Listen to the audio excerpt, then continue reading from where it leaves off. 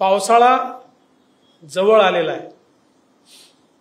आणि पाऊस पडत असताना जे पेरलं जातं सप्टेंबर ऑक्टोबर नोव्हेंबर तेच उगत असतं.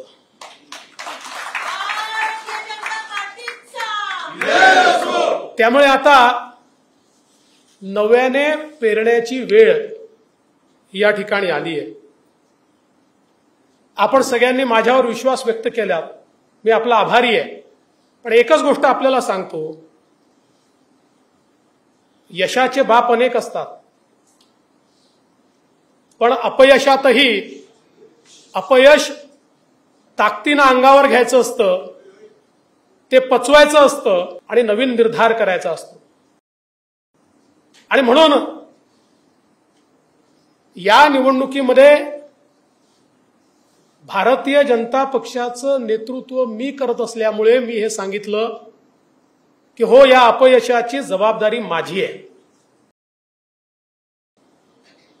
कारण पक्षाने आणि मी दोन्ही अध्यक्षांचं अभिनंदन करेन बावनकुळेजी आणि आशिष शेलारजी आणि पक्षाच्या कार्यकर्त्यांचं अभिनंदन करेल की आपण सगळ्यांनी अतिशय उत्तम काम या ठिकाणी केलं. केवळ पॉलिटिकल अर्थमॅटिकमध्ये आम्ही कुठेतरी कमी पडलो. आणि मी ते कसं पडलो हे सांगणार आहे.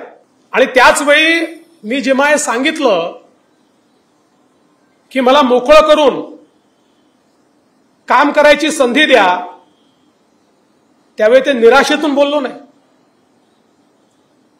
देवेंद्र फडणवीस हा पळणारा व्यक्ती नाही आहे हा लढणारा व्यक्ती आहे. अरे आमची प्रेरणा काय आहे?